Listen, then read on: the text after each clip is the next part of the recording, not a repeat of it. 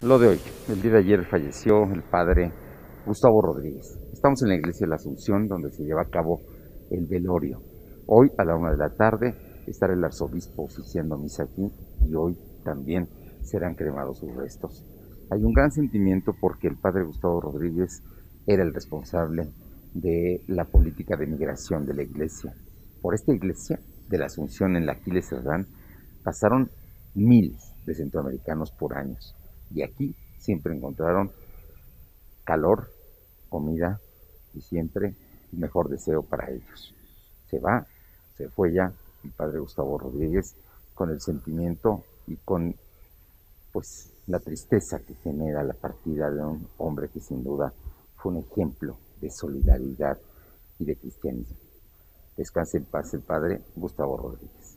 Y aquí, en el atrio de la Asunción, aquí donde pasaron miles de migrantes, precisamente el día de hoy está Kamala Harris, la vicepresidenta de los Estados Unidos, en El Paso, Texas. Y su tema fundamental es hablar de la migración, hablar de la migración ilegal a los Estados Unidos, hablar de los centroamericanos. Esta semana encontraron 240 centroamericanos aquí en Puebla, sí, estaban en una bodega, eh, en, una de las juntas auxiliares, en la resurrección.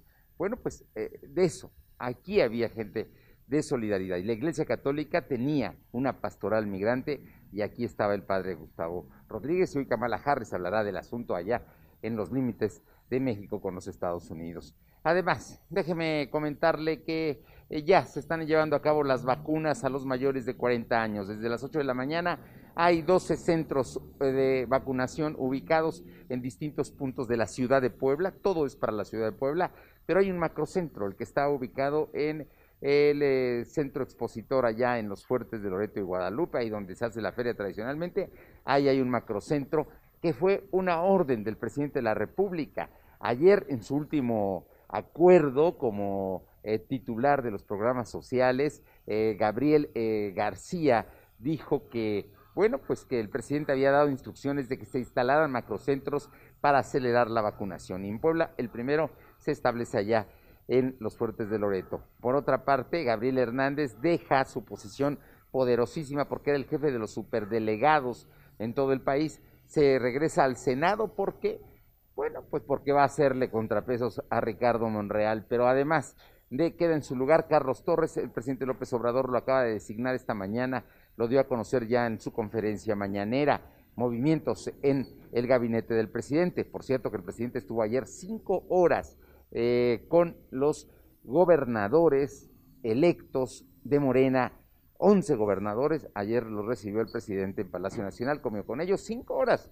Dijo esta mañana que fue un encuentro fraterno y de mucho aprovechamiento. Déjeme también contarle que el día de ayer el Partido Acción Nacional en Puebla llevó a cabo cambios en, su comité directivo. Nombró a nuevos coordinadores y también a eh, nuevos secretarios. Pero lo interesante de Genoveva Huerta como presidenta del PAN es que integró a los distintos grupos al interior del Partido Acción Nacional. Hay incluso gente que representa a Eduardo Rivera y que está en este nuevo comité, en un asunto que me parece que dice Genoveva Huerta que es el nuevo PAN y me parece que tendremos que verlo porque si es así, verdaderamente hacía años que no veíamos una integración de este tipo en la dirigencia estatal de Acción Nacional.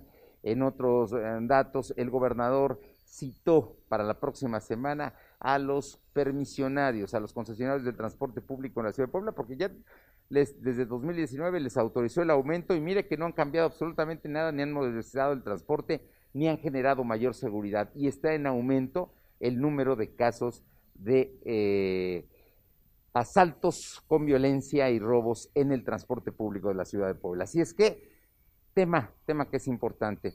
Eh, las autoridades de la Fiscalía General del Estado, en la, Fiscalía es encargada de delitos electorales, le platico que el día de ayer eh, determinó que iniciar procedimiento en contra de la directora del DIF de Coronango y de su hermano porque estuvieron repartiendo dinero el día 6 de junio en un grave delito electoral. Además, el de hoy, la Benemérita Universidad Autónoma de Puebla llevará a cabo examen para la reubicación de sus eh, preparatorianos, sí, para decir quiénes eh, van a determinadas escuelas a clases presenciales y quiénes se quedan en, clases a distancia. Hoy es precisamente este examen.